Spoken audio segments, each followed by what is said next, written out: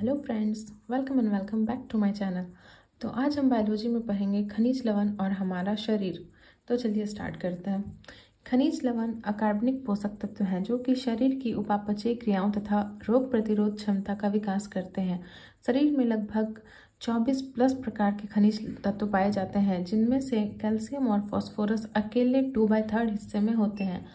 तो देखते हैं टाइप्स ऑफ़ मिनरल्स मिनरल्स दो तरह के होते हैं, ठीक है? मैक्रो मिनरल्स और माइक्रो मिनरल्स अधिक मात्रिक खनिज तत्व और सूक्ष्म मात्रिक खनिज तत्व। तो अधिक मात्रिक में है calcium phosphorus magnesium sodium potassium और सल्फ़र या गंधक। और माइक्रो में है लौह तत्व या आयरन आयोडीन कोबाल्ट जिंक या जस्ता फ्लोरीन मैग्नीज और कॉपर तो अब हम एक एक करके माइक्रो मिनरल्स के बारे में सबसे पहले जानेंगे, ठीक है? उसके बाद माइक्रो मिनरल्स के बारे में। तो चलिए देखते हैं। पहला माइक्रो मिनरल्स है कैल्शियम चलिए इसके बारे में देखते हैं। हड्डियों और दांतों की मजबूती के लिए कैल्शियम प्लस प्लस आयन रक्त को जमाने में मदद करते हैं। हार्मोन असंतुलन के कारण शरीर में कैल्शियम की मात्रा ज़्यादा हो जाती है। और कैल्शियम ऑक्सीलेट बन जाता है, जिसे पथरी या स्टोन कहा जाता है। इसके बाद है फॉस्फोरस। हड्डियों और दांतों को मजबूती देता है। यह वसा और कार्बोहाइड्रेट का पाचन करता है, इसलिए ऊर्जा के लिए जिम्मेदार माना जाता है। एथलीट अपने भोजन में फॉस्फोरस युक्त खाद्य शामिल करते हैं। इसके बाद है मैग्नीशियम। घातक या लॉन्ग टर्म की बीमारियाँ मैग्नीशियम के प्रभाव से नहीं होती। गर्भवती महिलाओं के रक्तचाप को नियंत्रित करता है। अस्थायी बधिरता आने पर मैग्नीशियम के इंजेक्शन दिए जाते हैं। अल्सर की समस्या या मुँह के छाले मैग्नीशियम से ठीक हो सकता है। यह दीर्घकालिक ऊर्जा प्रदान करते हैं। मैग्नीशियम पथरी को होने से रोक लेता है। इसके बाद हम लोग बात करेंगे सोडियम और पोटेशियम की, ठीक है? जो कि हम एक साथ पढ़ेंगे। तो उसके बाद नेक्स्ट टॉपिक है सोडियम और पोटेशियम। यह हमारे मस्तिष्क और न्यूरॉन को सक्रिय करते हैं। सोडियम रक्त दाब नियंत्रित करता है, जबकि पोटेशियम हृदय की गति को नियंत्रित करता है। गर्म क्षेत्रों के कामगार या मजदूर हीट कैंप्रस ठंड के साथ बुखार से पीड़ित होते हैं, जिससे शरीर में सोडियम की व्यापक कमी हो जाती है। पोटेशियम की कमी होने पर हाइपोकैलेमिया नामक बीमारी होती है, जिसमें चिड़चिड़ापन और अरुचि के लक्षण दिखते हैं।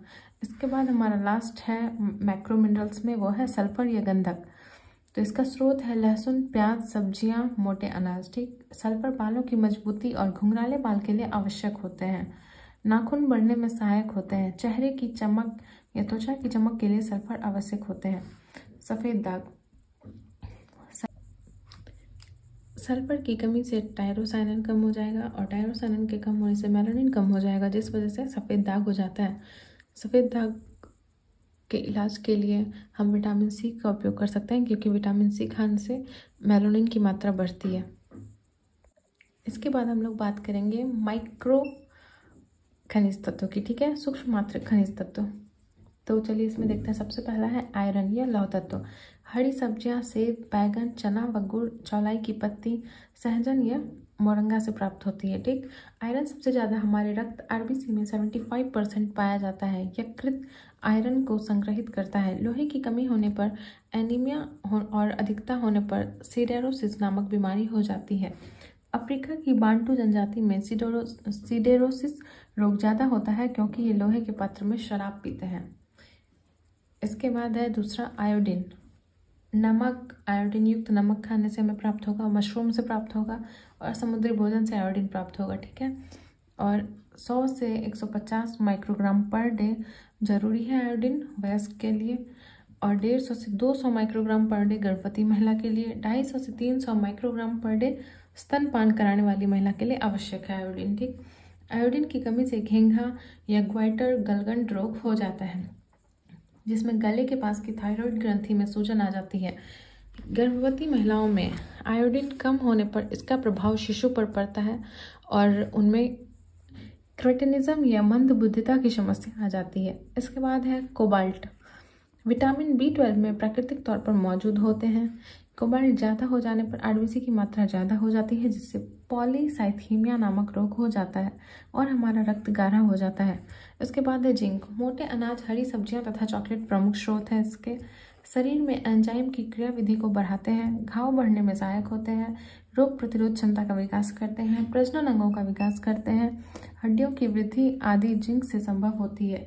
जस्ते की बर्तन और जस्ते की रोटी लपेटने वाली फॉइल स्वास्थ्य के लिए हानिकारक मानी जाती है। इसके बाद है फ्लोरीन। मुख्य तौर पर पेयजल से फ्लोरीन की आपूर्ति होती है। हमारे दांतों, इनामल परत तथा हड्डियों की मजबूती के लिए सामान्य मात्रा का फ्लोरीन आवश्यक है। सामान्य मात्रा है one part per million. Note में हम लोग देखेंगे पहला नोट में, तीन से पाँच पार्ट पर मिलियन पेयजल में मिलने से डेंटल फ्लोरोसिस हो जाती है, जिससे दांतों पर धब्बे और दांत कमज़ोर होते हैं। दूसरा नोट है, दस पार्ट पर मिलियन होने पर बोन फ्लोरोसिस हो जाती है और हड्डियाँ कमज़ोर हो जाती है। तो हमें फ्लोरीन तो चाहिए बट एक सामान्य मात्रा में चाहिए, क्योंकि थोड़ा सा भी ज़्यादा या कम होने पर हमें दिक्कत हो जाएगी। उसके बाद बात करेंगे कॉपर की। नसों या शिराओं की मजबूती के लिए कॉपर लाभदायक माना जाता है। बॉडी कलर के लिए भी कॉपर जिम्मेदार होता है। तांबे की अधिकता से विल्सन रोग हो जाता है, जिससे आँखों में कैंसर फिशर छल्ला हो जाता है। तांबा, तांबे की मात्रा में अनियमितता होने पर मैंकी सिंड्रोम हो जाता है, जिससे हमारी जैव रासायनिक क्रियाएँ प्रभावित होती है। तो आज के लिए बस इतना ही। नेक्स्ट टॉपिक में हम लोग बात करेंगे न्यूक्लिक एसिड की। तो अगर आपको मेरी वीडियो अच्छी लगी हो तो प्लीज़ लाइक करें कमेंट करें एंड मेरे चैनल को सब्सक्राइब करें। Thanks for watching